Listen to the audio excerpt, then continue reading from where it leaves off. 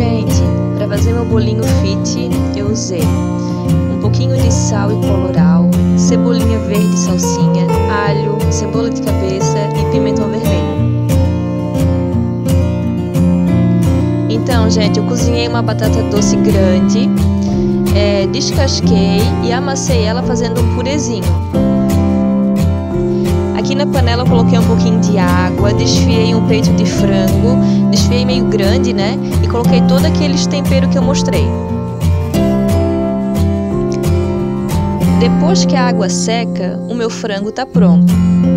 Em seguida, eu vou misturar com o purê de batata que eu fiz antes, né?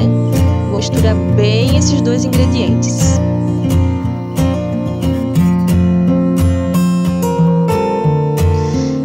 Então, gente, aqui no prato tem farinha de linhaça. Em seguida, eu fiz as bolinhas com as mãos, não usei nada de óleo, não usei nada de manteiga, margarina, nada, tá? Eu simplesmente deixei a batata e o frango esfriar e em seguida eu enrolei na farinha de linhaça. Coloquei na forma, também não precisei untar a forma, tá? E levei para assar. Levou mais ou menos 40 minutos.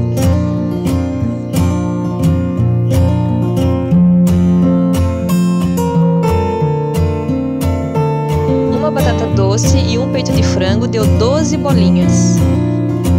E aqui está pronto o meu bolinho fit, feito de batata doce, frango e farinha de linhaça. Espero que vocês tenham gostado. Um beijo e até a próxima!